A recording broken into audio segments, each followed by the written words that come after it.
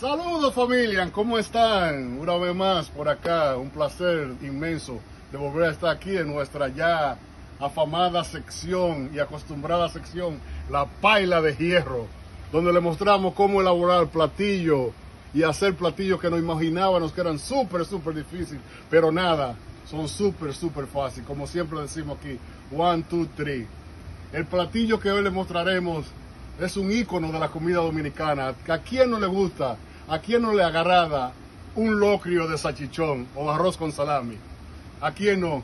Me acuerdo cuando iba a la escuela en la Reforma en Puerto Plata, aquellos tiempos llegaba con hambre, después de esa larga caminata a la Reforma de mi casa, y encontraba, mami siempre hacía locrio de salami todos los viernes y me encantaba. Los viernes eran los días preferidos míos porque eran locrio de salami y los sábados espagueti con pica pica. En mi casa tenía yo un menú escrito para mi mamá. Si ella está viendo, puede, puede corroborar eso. Yo tenía el lunes esto, martes esto, viernes locrio salami y sábado espagueti con pica pica. ¿Ok? Pero ante todo, un saludo para mi querida socia, hija y amiga Sabrina. También nuestros amigos. Diana la Lechuza. Pablito el Búho Santiago. La gallina Kikiriki. Tamborita Alegre. Tacita de Plata. Mata de Guandula Heredia. Mata de Tamarindo Rodríguez. Mata de Lechosa Lares.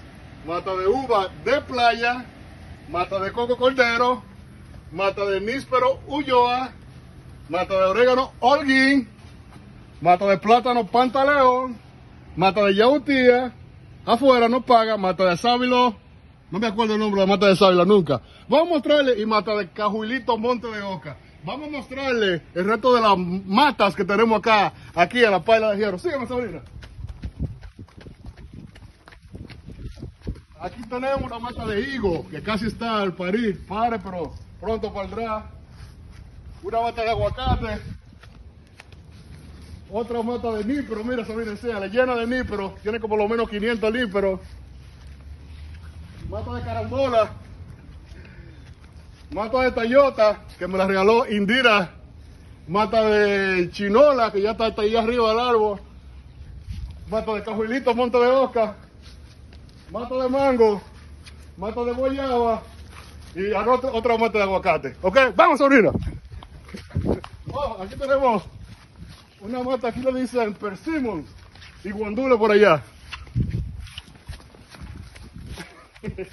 allá están los trocos trocosos y mata de yuca y naranja agria allá atrás.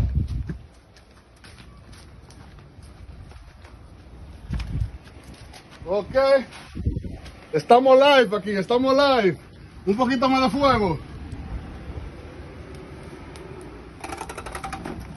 Ok, volvemos a la comida. ¿A quién no le agrada un locrio de salchichón?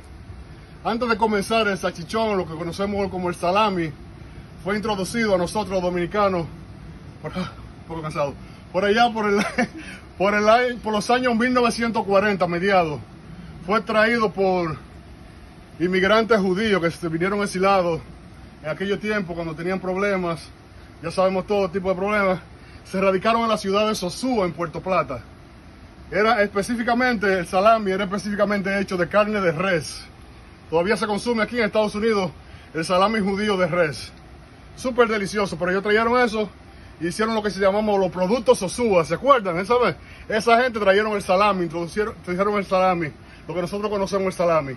Después luego lo modificamos en nuestro país, lo hicimos de cerdo, ¿de qué más lo hacen? De grano de toro y de todas esas cuestiones, ¿ok?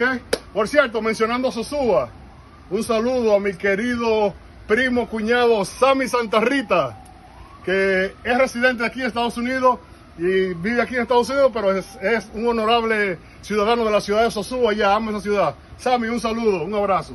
Ok, seguimos con el con el locrio de salchichón. El salami fue introducido por los judíos, inmigrantes judíos a Sosúa, y hicimos maravilla. Hicimos salami frito, los tres golpes, eh, ¿qué más? Locrio de salami, asopado de salami, salami con totones. Vamos a comenzar entonces. Lo, vamos a acompañar de habichuela guisada, habichuela roja guisada. Yo quiero comenzar haciendo la habichuela roja, comenzando. Guisar la habichuela para adelantar. Aquí yo tengo un poquito de aceite de oliva para la bichuela. Y en la pailita de hierro está trabajando hoy. ¿Ok?